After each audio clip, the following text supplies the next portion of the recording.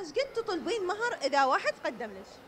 المقدم اللي يعني بالبداية غير فد 50 دفتر قد؟ 50 دفتر ليش بالله؟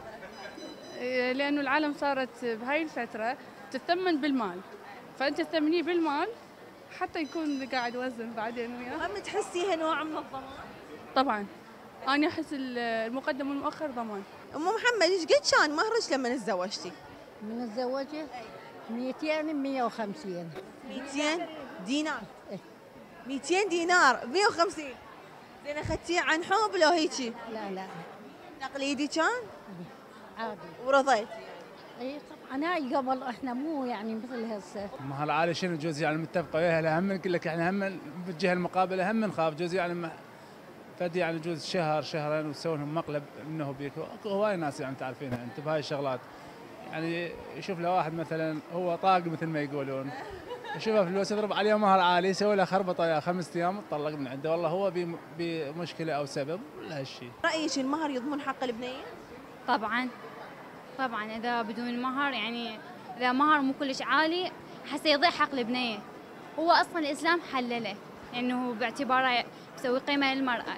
زين انت إذا مثلا لنفرض قدم لك شخص عنده يعني هو متمكن ماديا وعرض عليك مهر عالي وشخص انت تحبيه بس ما انطوش مهر أو فد شيء بسيط رمزي المن راح تختاري؟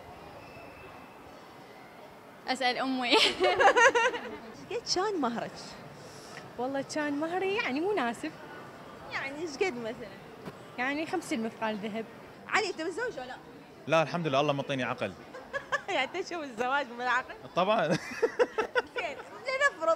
لنفرض صارت عندك يعني سهوة وقررت تتزوج. إيش قد يعني تريد يطلبون منك؟ قصدك يعني لا سامح الله. آه، سوء الاختيارات كثرة الطلاقات دا تصير عندنا. كل ما دا يزيد الطلاق عندنا كل ما دا يزيد عندنا المهر. ليش؟ يقول لك أنا راح أحافظ على بنتي مستقبلا أو على مستقبل أو على مستقبلها اللي راح اللي راح يضيع. زين أنت ليش تفكر بسلبية قبل الإيجابية؟ إحنا أني مسيحية ما عندنا مهر ولا مقدمة ومؤخرة.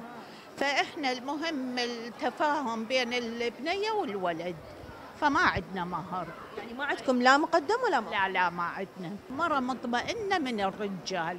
يعني مهما يطلع مهما يشوف يخالط هذه فأول وتالي يرجع لها لأن ما عندنا انطلع حلو. زين أنت رأيك بالمهر بصورة عامة؟ يعني من هاي بالمهر بالنسبة لكم أنا ما أيد مهر ال- العالي. المهم أنه البنية مقتنعة بالولد. هاي هي وتعرفه خوش ولد. المهم يكون أصيل بس. مثل ما شفتوا رأي بناتنا الحلوات ورياجينا وشاباتنا وشبابنا والكل كان بصفي اني أكيد مو بصف رائد. يلا خلونا نرجع للاستوديو نكمل نقراني ورائد.